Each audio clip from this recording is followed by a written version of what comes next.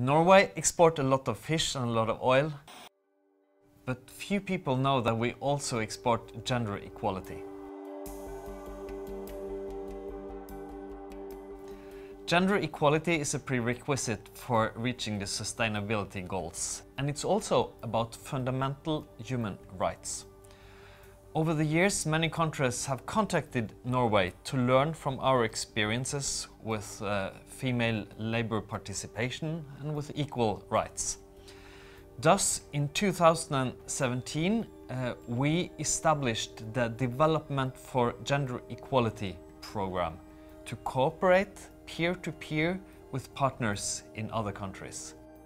I work for the Norwegian Agency for Children, Youth and Family Affairs and we have two country programs. One is in Ethiopia, the other one is in Nepal.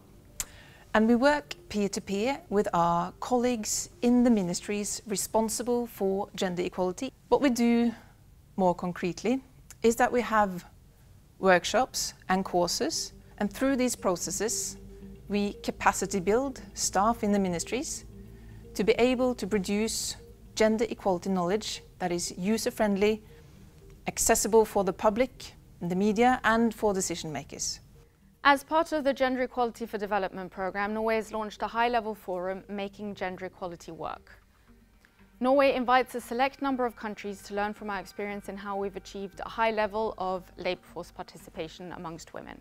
Research has shown that the contribution from human resources is much higher than the contribution from the petroleum sector to the Norwegian economy. Today, women comprise about half the labour force in Norway. Due to the ongoing corona pandemic, Norway will now launch a digital version of the High Level Forum in 2021.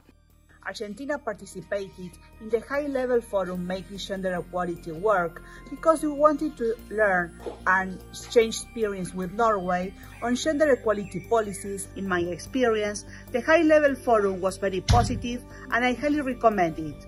And I am very happy that I was part of the first pilot forum in Oslo in 2019.